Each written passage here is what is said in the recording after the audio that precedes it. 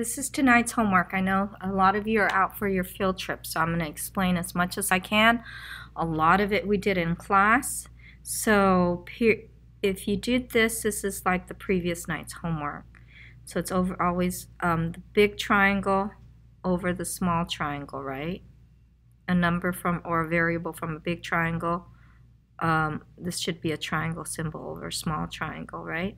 So you, if you pick 36, A to C, put 36 over corresponding um, sides on the small triangle, which is a question mark, equals to 24 over 8. Now you can use the question mark or change that question mark to x.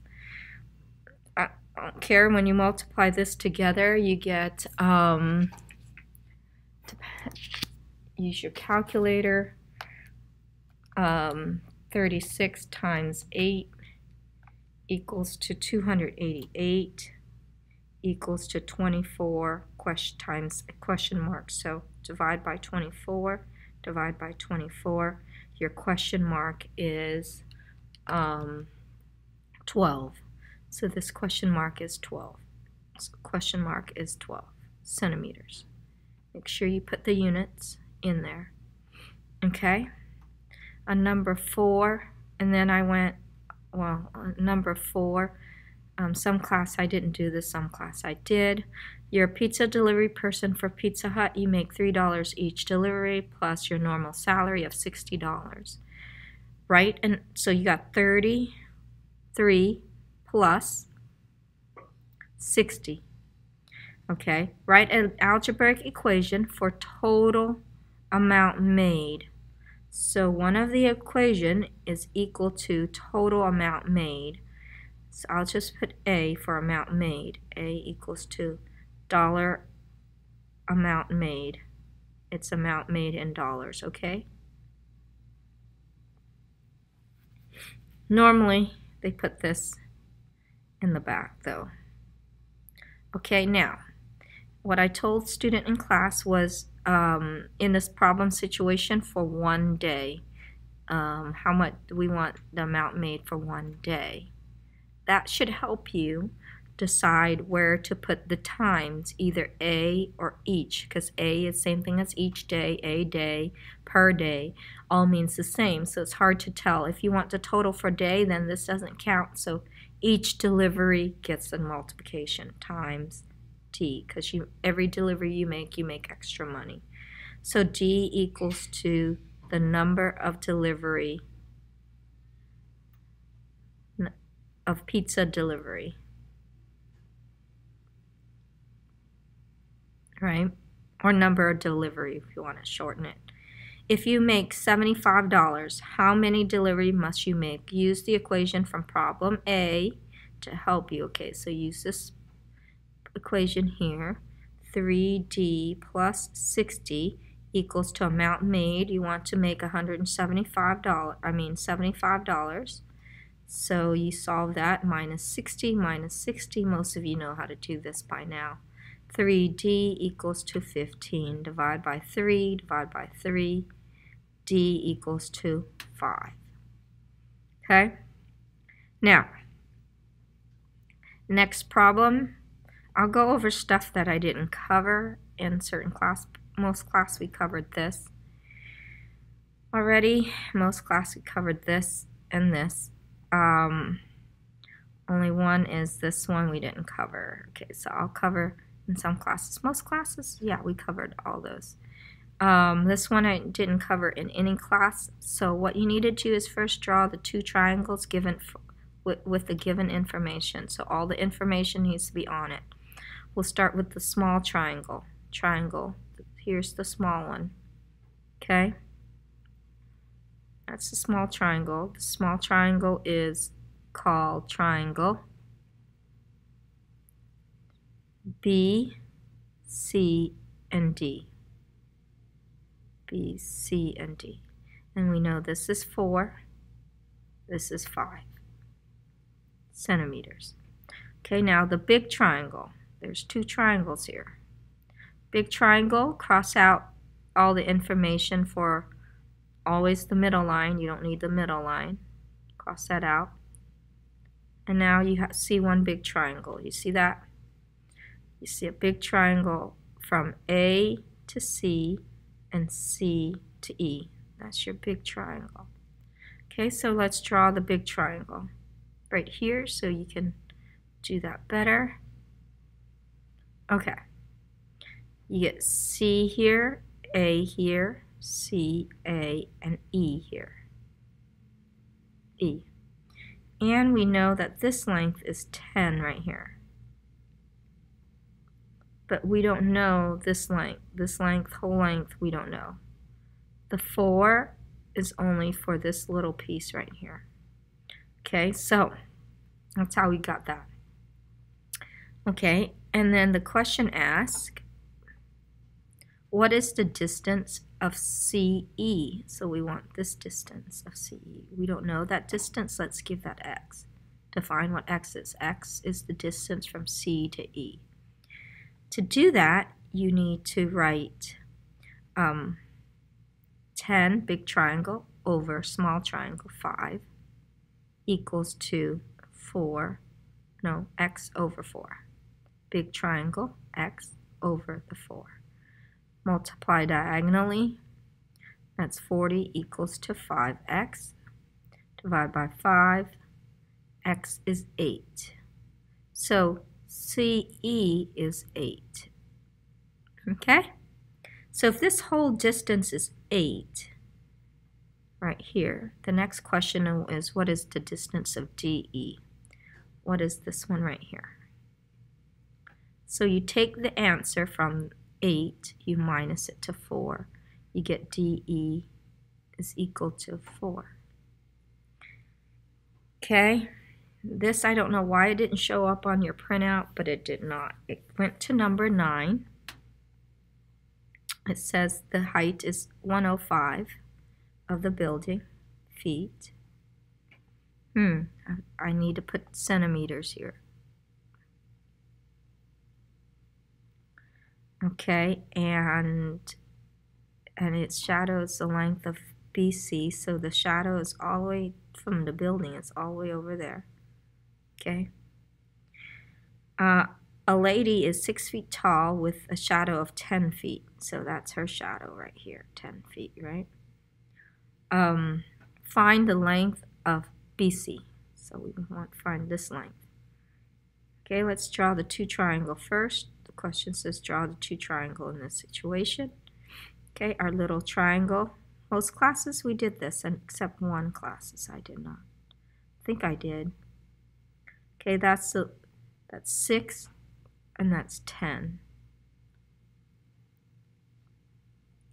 That's okay. And the big triangle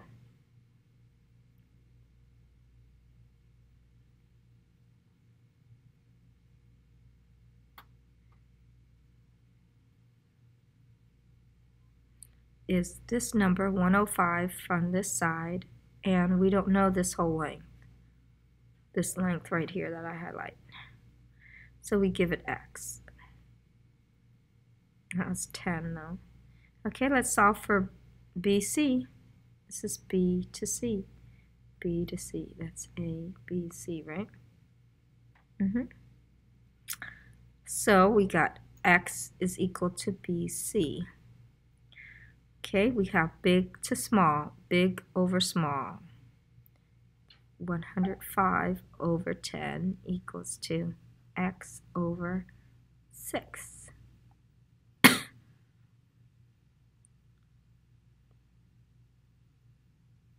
no, no. Oh no, I did it wrong. Oh, it's not over 10. 105, compare that to not 10. I'm looking at the wrong thing. 10 is not even, don't look at that. I need to look at this picture only right here. 105 to the 6 equals to x over 10. Multiply diagonally, you get 150 equals 6x. Divide by 6, you get 11.6 repeating. B is 11.6 repeating. You want to find the length, this is not this answer, sorry. You want to find the length of this B, um, E to B right there. This one. Therefore, you take the whole thing, 11.6 repeating minus this 10.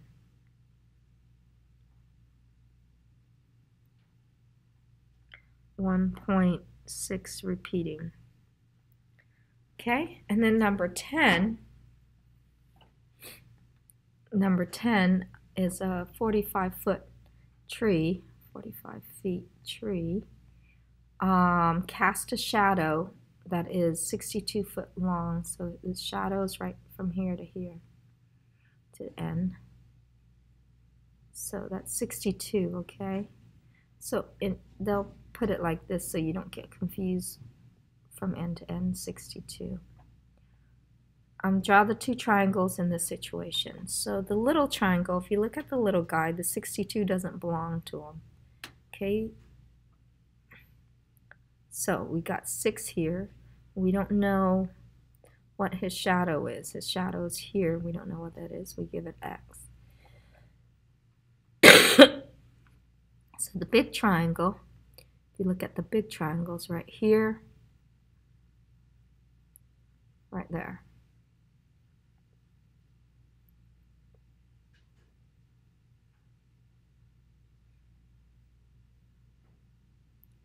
It's 45 and this is 62. Okay? So, how tall is this six foot person shadow? That's this right there. That's x. x equals to the shadow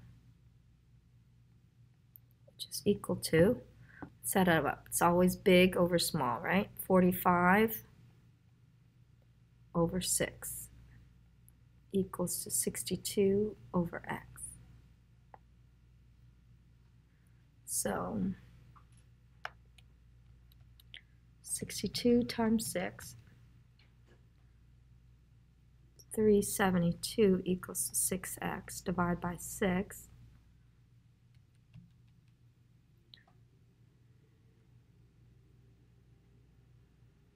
Oh, no, no. What am I doing? It's 45.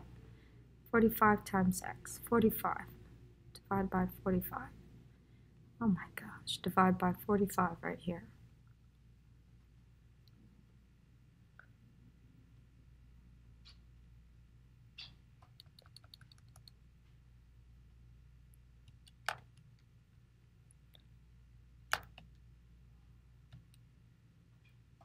8.2666 repeating. The 6 is repeating. The shadow is 8.26 repeating on the 6. Okay.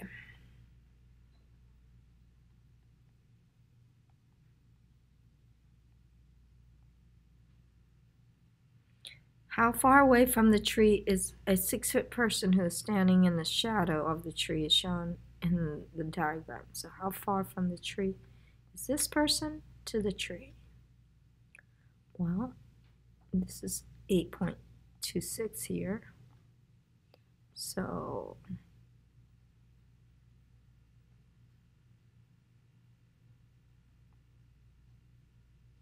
How far away from the tree is the sixth person standing in shadow?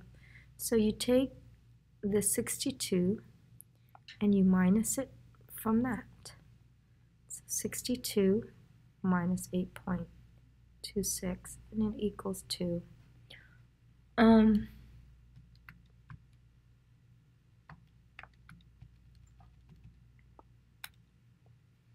Thirty-seven mean 53 point seven three repeating. Okay, what type of transformation? Some class I didn't get to do that. This is a, a rotation of 160. Notice this is the pre-image. How the shape flipped, 180 degrees. Rotation rotation of 180 degrees. How do we know? Because the shapes flip and it's diagonal or the number stays the same.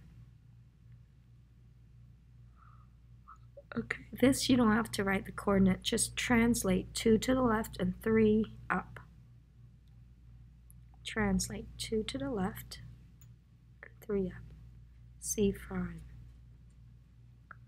2 left, 3 up.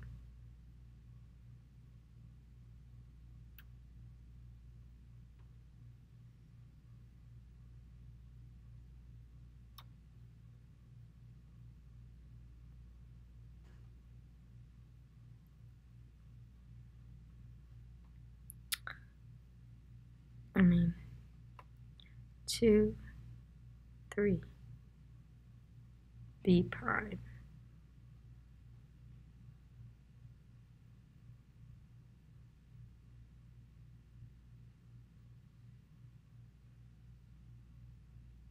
Okay, and then connect the dots.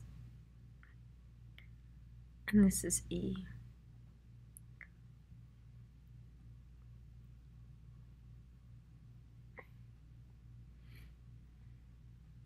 Draw a reflection of the pre-image over y negative 1 here.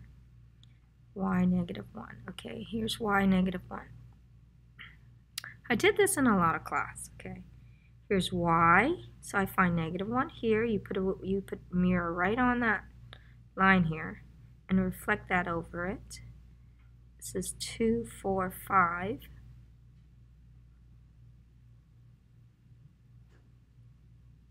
Right there, and that's letter E, double prime. And B is just right down there.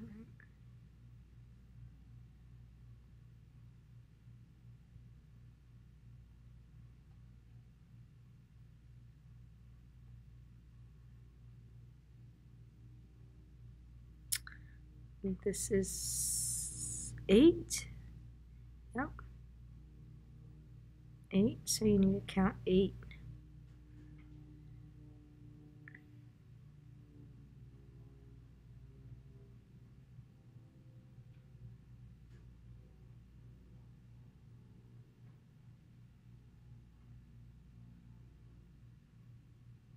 Right there, that's 8 also. Alright, and that's D prime. The other one is right there. It's E prime, C prime.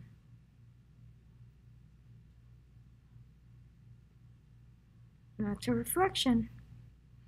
Identify the line segments. Okay, congruent line segments. They're talking about these two. Okay, these two right here. So DE is congruent to, okay, let me erase this.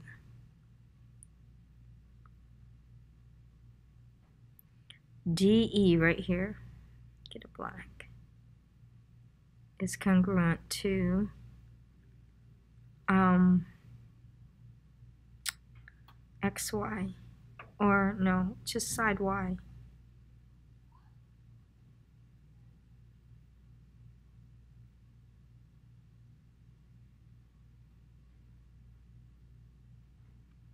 CD is congruent to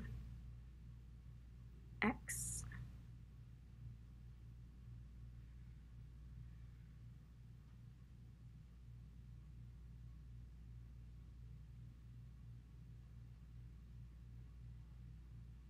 Okay, you guys finish the rest. Or, okay, I'll finish it. C to B right here. Is congruent to um, W. Right here. And the last one is B to E is congruent to Z. Okay? Wilcox. Hi.